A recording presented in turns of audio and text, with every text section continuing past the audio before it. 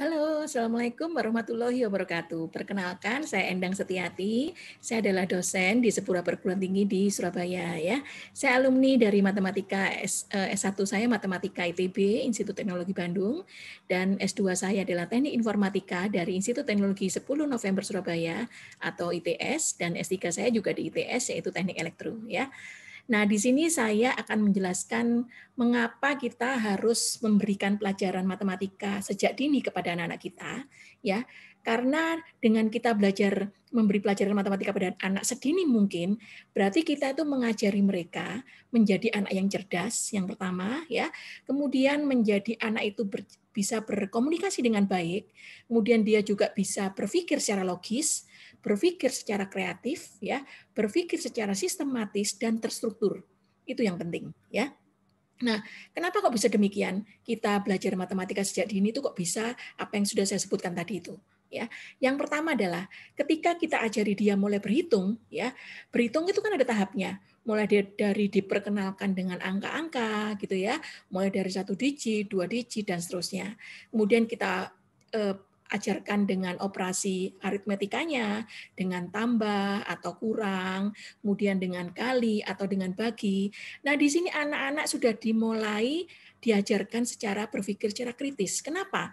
Begitu dia mendapatkan ini harus dijumlahkan, ini harus dikalikan, atau ini harus diapakan, itu berarti dia sudah be, otaknya sudah bekerja ya sehingga ketika kita ajarkan sejak sedini mungkin ketika dia nanti belajar di SD, di SMP, SMA maupun nanti di mahasiswa itu pola berpikir secara kritis, logisnya gitu ya, itu sudah bekerja, ya sudah memenuhi otaknya, ya seperti itu.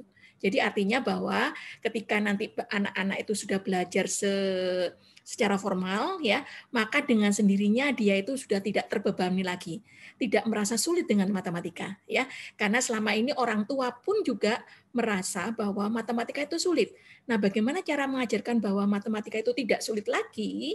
Maka berikanlah sejak dini. Nah, itulah kelebihan dari matematika. Kita ajarkan sejak dini, sedini mungkin, sehingga apa pun yang kita kerjakan nanti, ya otomatis dia itu akan menerima apa yang sudah diajarkan secara secara berpikir secara kritis tadi ya. Dia akan menjadi seorang yang kreatif ya.